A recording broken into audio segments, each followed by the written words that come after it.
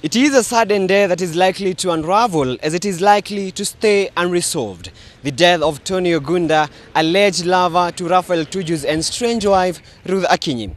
Police have so far managed to arrest the person who first reported Tony's death. They are no longer treating him as a witness, he is now a suspect.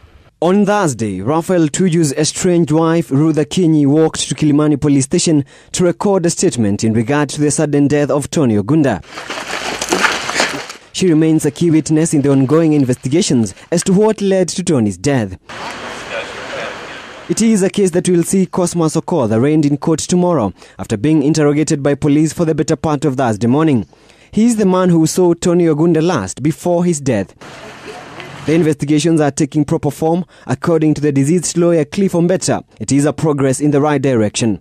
So there are so many angles that have been looked at, but I'm happy with the investigations. I'll be following it up with it tomorrow.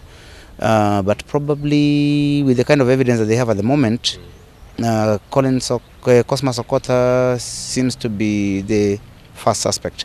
Other witnesses also recorded statements with the police, including neighbors and the security guard to the house in which Tony was found dead. A post-mortem conducted yesterday revealed that Tony was hit in the head, resulting to heavy bleeding in his head.